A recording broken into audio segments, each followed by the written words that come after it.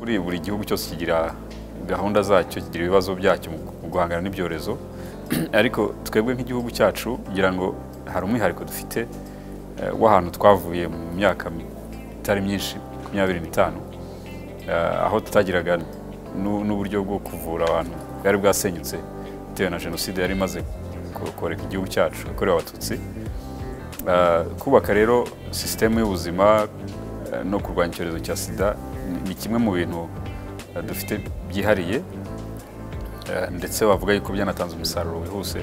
Nubwo udahagije hari hari ibindi bikiri gukorwa.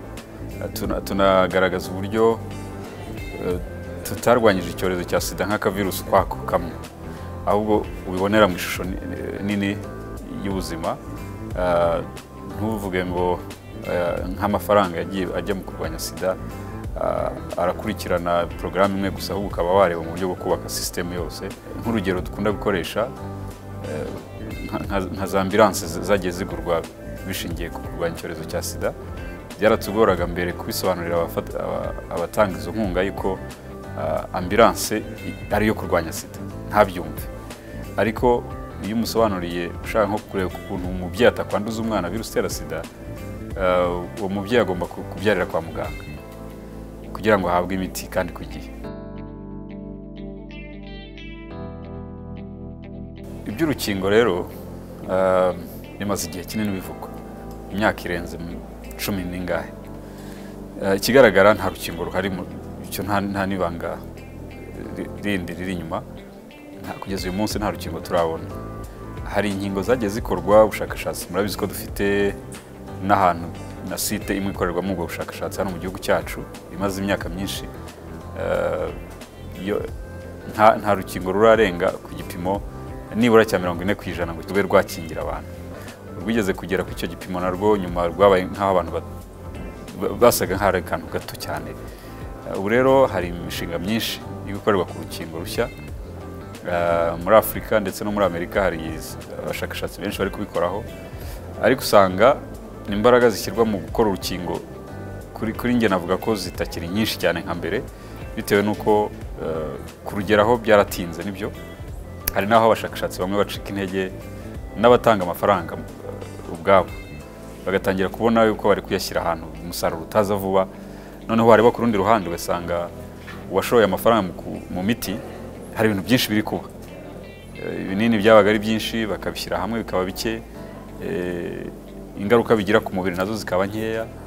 Abantu baratekereza ku binini byavaho hakaba ha- hajya uburyo eh, urushinge ngira ngo tumaze iminsi turuvuga eh, ndetse n'ubundi buryo bwitwa long acting treatment ushobora gufata umuti igihe kirekire. Noneho ukongera ukareba ku rundi ruhande ko kuvura, abantu ari, ugukingira.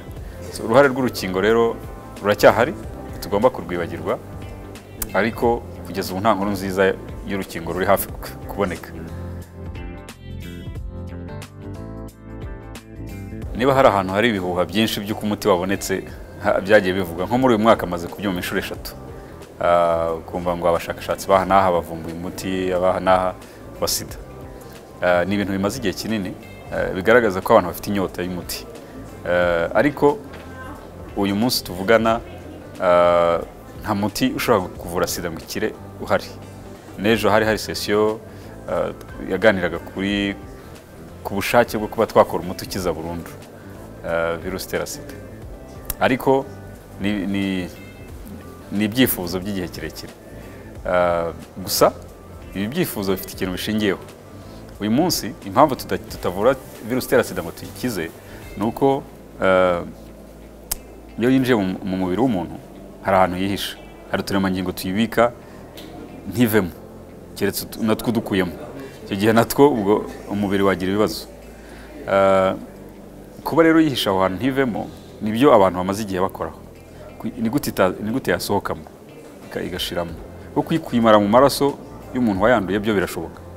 Ni na yo mpamvu mirongo icyenda ku ijana y'abari ku miti nta, virusi bitemera mu maraso yabo bisigara ari twa tundi dukeya twihisha ahantu.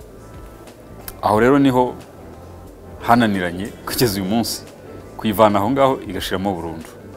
Eh, ngira ngo mwumvise ko ku isi abantu bamaze gukira virusi itera sida ari babiri.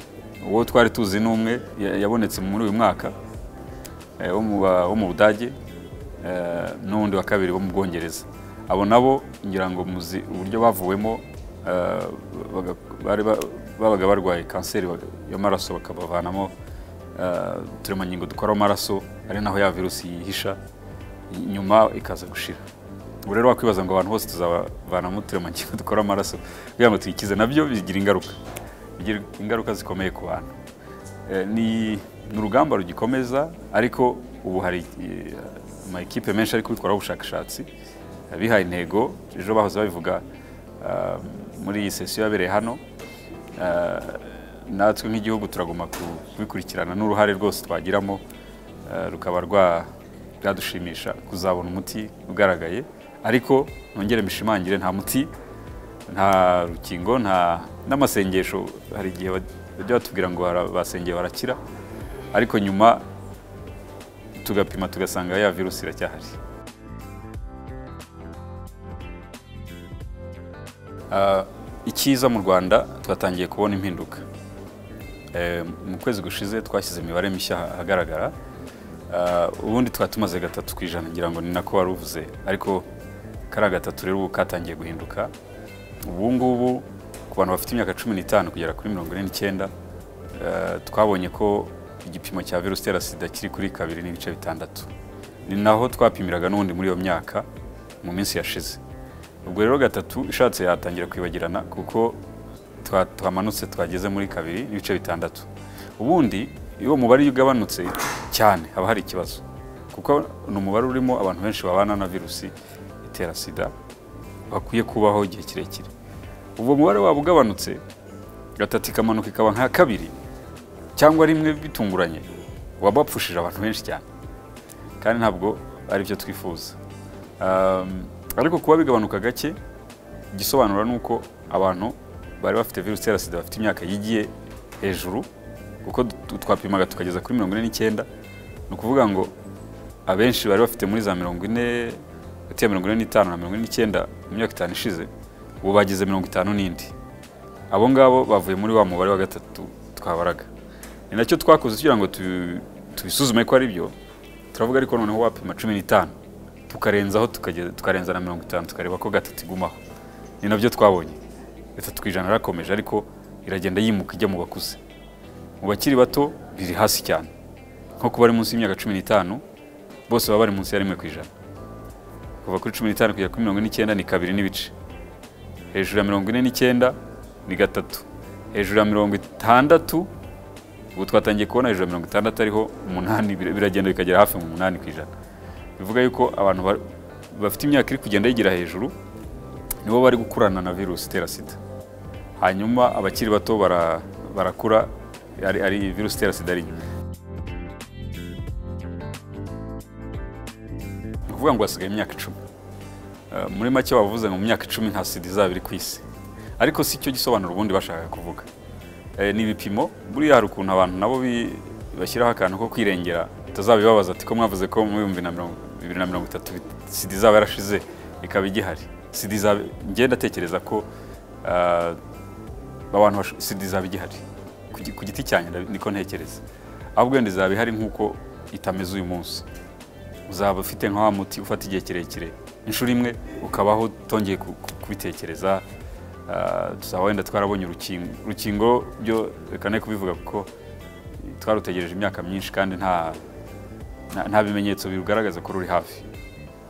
Ah, dushobora kuzaba dufite abantu bake bandura virusi itera sida Eh, kuko ubu ngubu niba dufite ibihumbi bitanu ku mwaka mu rwanda Ah, tuvuye ku bihumbi cumi na bibiri mu myaka itanu ishize dushobora kuzaba tugira nk'abantu igihumbi cyangwa hafi aho ngaho bandura virusi itera sida ku mwaka. Ni bake cyane ubundi ugereranyije na- n'aho tuvuye.